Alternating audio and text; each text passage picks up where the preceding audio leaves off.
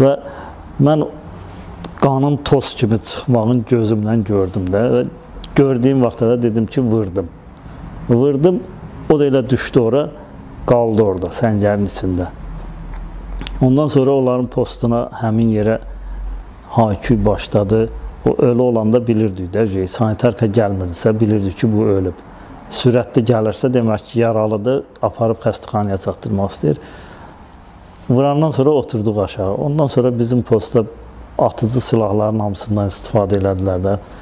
Başladılar güppuldatmağa. Hə, hər kəs də mövqeyində oturub gözləyir.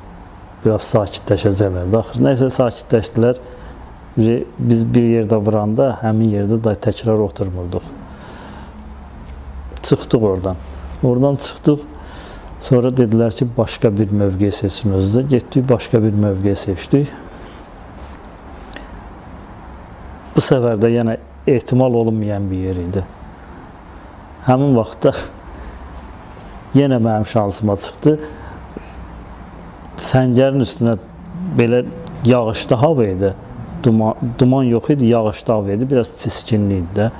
Gördüm ki, bu şəpitlə zadla səngərin üstü ilə qaça-qaça gedir. Onda səngərin üstə çıxma səbəbi nəyə görədir? Səngərin içi palçıq olduğuna görə, yağış yağdığına görə, su olduğuna görə o da ayaq yalında şəfitlə indi harasa gedir də.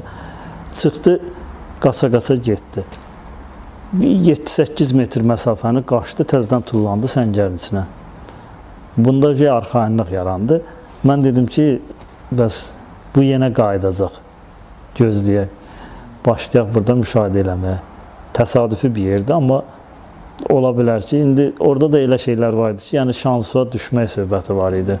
Elə yer var idi ki, 2 gün, 3 gün otururduq, gecə gündüz müşahidə